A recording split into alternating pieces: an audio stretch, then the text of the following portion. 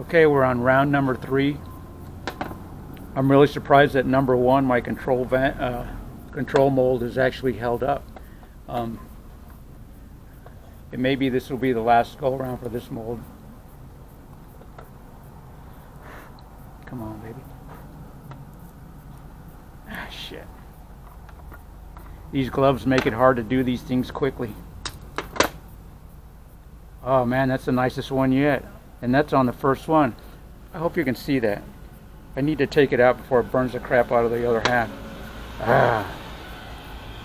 Yeah, it, it, I left it in there too long and it burnt the burnt the crap out of the one half. Actually, this half of the mold is excellent. This half here has got the striations, the horizontal striations, so that's the last of it. It has given up the ghost. Come on, baby. Oh,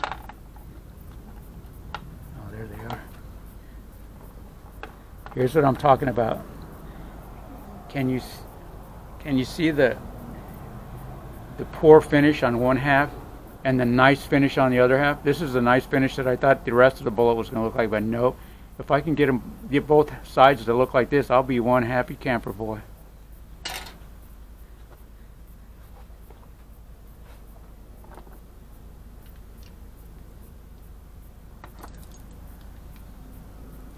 Yeah.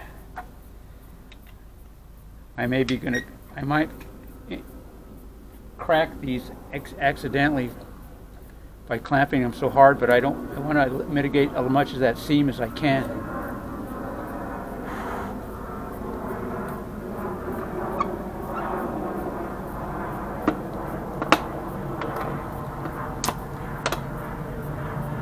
Yeah, that's a good one.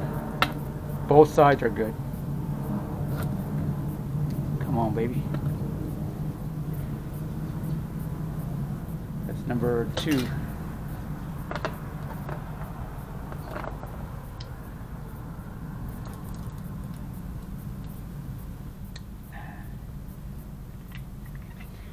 I'm deliberately taking my time with these so you can see what procedure I'm using.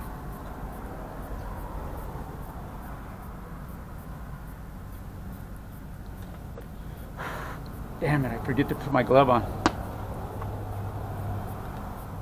Come on, baby, come out of there. Yeah, slight pucker.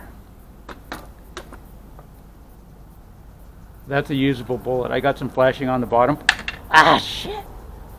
But I can, I can still use that. That's a good usable bullet.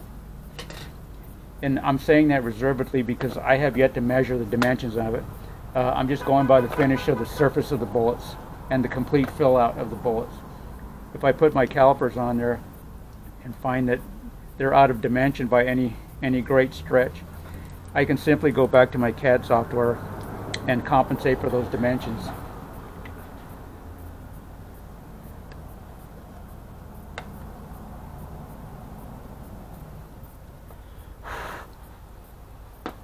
This is number four mold, the one with three additional scoops of porcelain. Ah, yeah. Nice. That's a good usable bullet, assuming that it's to the correct dimensions. I keep putting them in the wrong bucket too.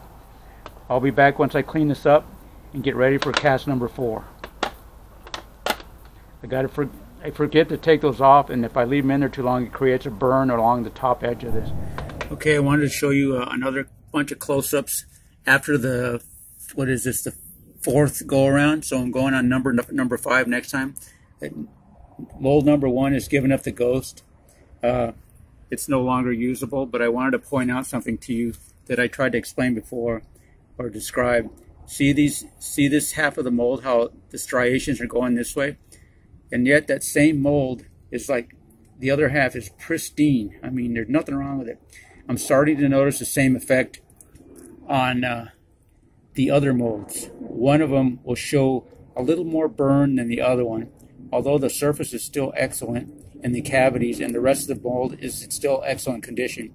One half of the mold seems to be uh, taking the brunt of the initial heat or temperature shock, and uh, the other half seems none the worse for wear. Here's that was this is number three, and uh, this is number four. It too is showing uh, good signs of of uh, resistance to the heat, and no signs of uh, damage other than the slight browning you see around the edges. And uh, after looking at them and trying to figure out what the hell is causing this, uh, I did notice one difference is, and that is that it's in the lids. Notice that I made the hole on this one a little bit bigger than the hole on this one, and the hole on this one. Okay, actually number three has the smallest through hole. It's number three that's not showing any signs of, of damage, or at least not as many as the other two. So perhaps it's the size of the hole. It's allowing it to drip down the center, and the bigger hole is maybe allowing the, the molten lead to hit off to the side before it hits the entire mold equally. I just thought I'd mention that. If any of you have any idea what might be causing it, maybe you can uh, chime in and offer up some su suggestions.